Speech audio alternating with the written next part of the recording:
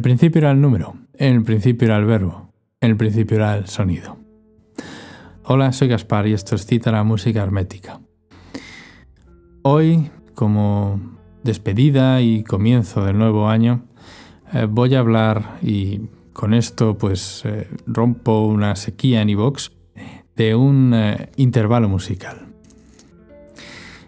Nos ocupa el intervalo del tritono, que consta de tres tonos. Para quien es profano en toda esta materia, es un intervalo que suena bastante regular en el sentido estético clásico, entendido así, pero que realmente no se puede ajustar a unas eh, cuestiones de consonancia o disonancia, puesto que el intervalo símbolo eh, desprecia cualquier consideración de ese tipo. Es más una idea y de esa idea de la metafísica del tritono vamos a hablar. Bien, hay varios conceptos base. El primero de los conceptos es el octoecos, sistema de modos empleados en la Edad Media. El segundo es las esferas, sistema de entendimiento del macrocosmos que tenían los neoplatónicos. La hipótesis de todo esto es que el intervalo del tritono se le llamó del diablo, puesto que se le llamó diabolus y música, porque estaba asociado a la diosa, a la divinidad femenina, a lo sensual, a lo intermediario con la luz del sol, es decir, el dios primigenio, el dios segundo de los herméticos, el dios egipcio del sol. Esa como hipótesis es la que planteo. Y la justificación vendrá. El octoecos es el sistema de ocho modos que se emplea eh, de inspiración bizantina y que impregna la Edad Media a través del canto gregoriano. Por no resultar demasiado pedante, existen los modos griegos antes que el octoecos y después existe el octoecos. Y ya después, en la era moderna, existe todo este amalgama del jónico, el dórico y toda esta historia que realmente está eh, hecha sin criterio. Lo que tenemos, por lo tanto, son un sistema sin criterio actual, un sistema con un criterio regulado en la Edad Media y un sistema eh, perfecto y todavía muy, muy desconocido, muy ignoto en, Grecia clásica. Básicamente. Esto no quiere decir las afinaciones, no. Estos son los modos. ¿Qué son los modos? Bueno, pues los modos son los tipos de escalas, por así decirlo. Solo que la diferencia entre una escala y un modo es que el modo tiene asociada una mm, digámoslo así, emoción, modulación del alma, traslación de algo místico, conjugación de unas emociones y también que impregna una moral, coloca una moral y puede tornar a una persona, por ejemplo, lasciva a una persona virtuosa o viceversa. O digamos que tiene esa, esa facultad, son similares a los raga hindú y por ahí van, por ahí van los tiros. Esta es la idea de los modos. Mm, y en el Octoecos se emplean ocho modos y de esos ocho modos, uno es el que nos va a interesar. Ya hablaremos de ello. Las esferas, que es el segundo de los conceptos importantes, puesto que ya supongo que el concepto del tritono lo tiene todo el mundo claro. Son tres tonos, por ejemplo, de Do a Fa sostenido, por ejemplo, de Fa a Si. Esos son tres tonos, un tritono. Y quien lo toque en un instrumento verá que suena, pues eso, es peculiar. Las esferas son la manera de comprender el macrocosmos a nivel de movimientos de, de continua influencia unos sobre otros. La esfera de la Tierra estaba para los antiguos fija, aunque sabían que no era fija, y encima estaba alrededor la esfera de la Luna, la primera que le envolvía a la Tierra, después Mercurio, la de Venus, la del Sol, la de Marte, la de Júpiter, la de Saturno y después la esfera de las estrellas fijas, que es el cielo estrellado que nosotros observamos y que debajo de él es que están las, las primeras esferas de las estrellas que se muevan, es decir, los planetas. Bueno, que se salga la noche oscura y que se vea esto con claridad, como tras un, par de días de observación se ve que los planetas se mueven dentro de ese lienzo que son las estrellas fijas. Huelga a decir que todas estas cuestiones no haría falta ni decirlas. Porque, pero igualmente vimos en un momento en que la gente no observa el cielo. Queda dicho. Y no me entretendré más en ello. Las esferas, por tanto, y el octoecos, amén del tritono, que es conocido. Recuerdo que la hipótesis es que esto se le llama, por la iglesia se le llama diabolus in música, y se prohíbe este intervalo, ¿de acuerdo? En la composición, se prohíbe. Y la hipótesis es que esto se hace porque hace una referencia a la diosa, hace una referencia a un intermediario con la divinidad y hace una referencia a lo sensual. Bueno, ¿hacia dónde vamos con todo esto? Ramos de pareja en el Renacimiento fue un musicólogo, fue un compositor, fue un tratadista de la música que escribió un tratado de música práctica en el cual por influencia de Macrobio y trayendo a Boecio, trató el tema de las relaciones entre las musas, los modos griegos, las notas griegas y las esferas. Algo importantísimo, puesto que a una esfera se le asocia una qualitas que viene de un modo, es decir, si con un modo musical, que es una sucesión de notas, una escala, un estado anímico, una forma de modular nuestro alma, eh, estamos asociándola a una esfera, querrá decir que la cualidad de esa esfera, la de Venus, Mercurio, Luna, nos es más propia, nos hace resonar más cuando empleamos ese modo. Y esto es sin duda algo, algo novedoso para, para las cuestiones que después desembocarían en lo que es la magia musical, ¿no? Como por ejemplo tendríamos enunciado con Bruno y, ejecutado con, con. Perdón, y ejecutado con Pico de la Mirandola. Entonces Ramos de Pareja, en su música práctica, a uno de los modos, el hipolidio, lo hace corresponder con la esfera de Venus. De momento, como vemos, no hemos establecido ningún tipo de relación con el tritono, ni tampoco con esa parte diabólica. Entonces, de momento vamos poco a poco, ¿no? La esfera de Venus está asociada con un modo musical. ¿Cómo es ese modo musical? El modo hipolidio equivale, si lo tocamos en notas naturales, a ir de un Fa al Fa siguiente. En el octoecos, los modos medievales, se va de una nota a la octava siguiente. En los modos griegos eh, se, va en sentido descendiente. Estamos hablando del modo hipolidio, que es el tritus plagal, plagis triti, séptimo modo del octoecos o ejos varis, que quiere decir sonido, ejos, ecos, pesado, lento, torpe.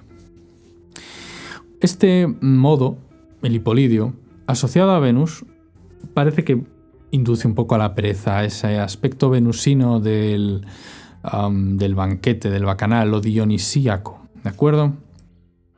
Dionisos versus Apolo.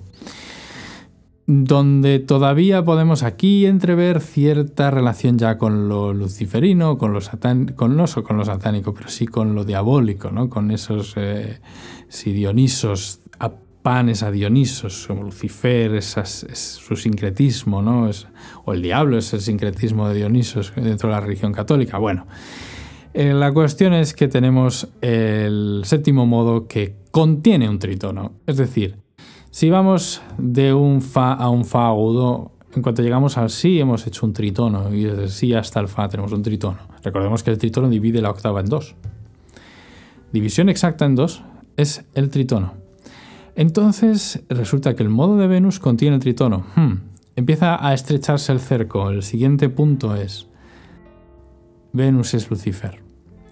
Venus es fósforo versus espéreo, que son las dos acepciones de Venus según esté en el, sol naciente, al lado del sol naciente o al, lado del sol eh, del ocaso. Es decir, para los griegos eran la misma estrella, ellos lo saben, pero la tomaban como dos caracteres o imágenes diferentes. Fósforo es Venus al alba y Espero es Venus del ocaso. ¿Por qué es Lucifer? Esto se ha, discutido mucho en la relación, por ejemplo, con lo que es Lucifer, Satán, etc.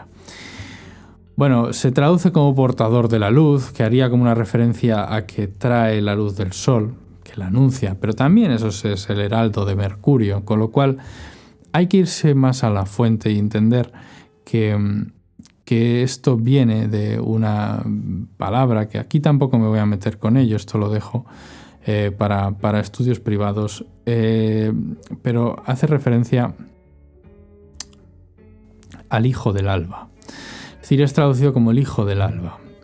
Y también el hijo, de la, el hijo del alba, lo dejaré ahí. Entonces, ese significado em, se le adapta más. ¿Qué ocurre? Que es intermedio, ¿de acuerdo? Entre... Para empezar es femenino, que ese es el mayor problema quizá que se le pueda ver desde el punto de vista de la iglesia, porque es Venus y Venus es eh, una luz, bueno, es un arquetipo femenino, aparte de que sea otras consideraciones con la luz, es benéfica, etcétera, etcétera, pero es un arquetipo femenino. Y es un arquetipo femenino que anuncia la gloria y el esplendor del gran dios que es el sol que viene de Egipto y que es recogido por los hermetistas eh, del, Renacimiento. Entonces estamos con una, en el contexto de la Iglesia, una tesitura complicada. Venus está en medio. Venus es el intermediario, además es una esfera interior entre la Tierra y el Sol y, y es el refiere al intermedio, al tritono, que es el intermedio entre la octava. Nosotros podemos estar en una nota, el Sol en la octava siguiente y en medio está Venus. El diablo en música es porque es Lucifer, porque Venus es Lucifer. Y porque el tritono está en medio, igual que lo está Lucifer, como intermediario. Con lo cual a la iglesia no le interesaba esa idea de que una persona, un hombre, pudiera en ese momento, en el momento del alba, comprender que él era el intermedio entre el Dios, que es el Sol, y él mismo. Es decir, el hombre como intermediario con la divinidad, como un estado suyo propio, igual que los modos producen estados en la persona, eso no se podía tolerar, porque entonces no era necesaria el intermediario que es la iglesia, porque la iglesia actúa como intermediario entre Dios y el hombre. Por eso las eh, sociedades secretas emplean la idea de Lucifer no con una connotación negativa, sino positiva, en el sentido de que es el intermediario entre el Dios y el, y el, hombre vil, ¿no? El hombre vil es el hombre que está en la oscuridad, es el hombre que no, que no abraza la luz, por eso el hombre en Lucifer es el hombre que mm, pues, se, se asocia con el portador de la luz. Que insisto, la mejor traducción no es esa, es el hijo del alba. Es el hijo del alba. ¿De acuerdo? Y mm, Vale, entonces tenemos esta, esta idea. Eh, por último, me gustaría hacer como una especie de, pequeña reflexión sobre la diferencia entre Lucifer y Satán. Porque igual alguno al escuchar esto piensa que esto es eh, como diabólico. para los gnósticos, eh, Lucifer y Satán eran diferentes. Y esto es una cosa que los cristianos más ortodoxos no entendieron y a los gnósticos se les persiguió. Es decir, Satán es Saturno, es Set, es Sauron, si queremos, del Señor de los Anillos. Pero Lucifer es Venus. Y es distinto el arquetipo de Venus del de Saturno, ¿verdad? Ahí es donde está la gran diferencia. Sí que Satán está asociado con el demonio como tal, pero Lucifer no. Y en el, cristianismo se decía, bueno, pues eh, Lucifer es eh, cuando está arriba y Satán cuando ha caído. Formas de simplificar y colocarlo todo en el mismo punto, pero no tienen nada que ver. Es decir, Lucifer es un intermediario y como tal había que censurarlo. Ese es el problema. Bueno, no quiero haber parecido demasiado...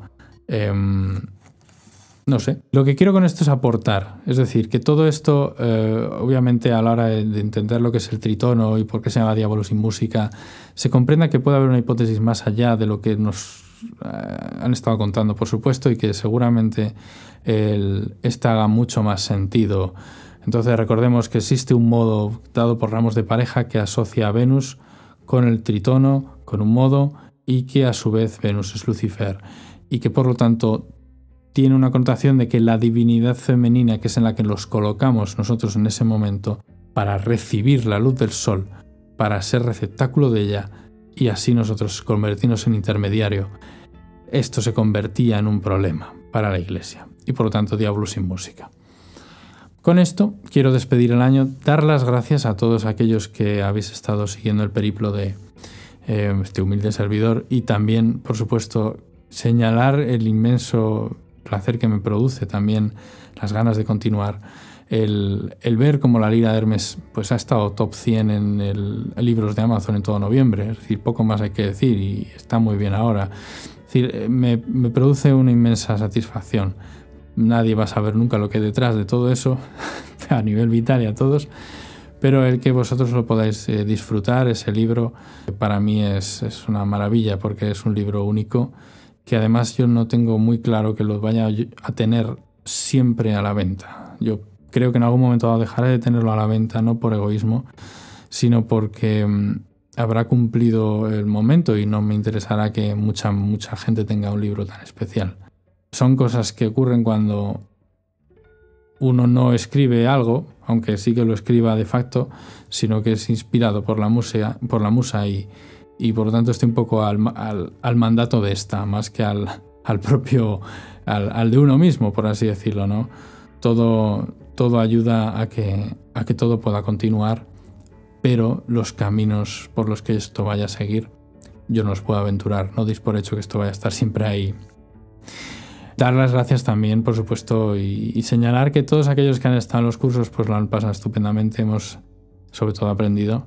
Dos cursos se han hecho antes del final de año sobre música hermética, los primeros que se hacen en esta época y en este, sí, los primeros que se hacen en esta época.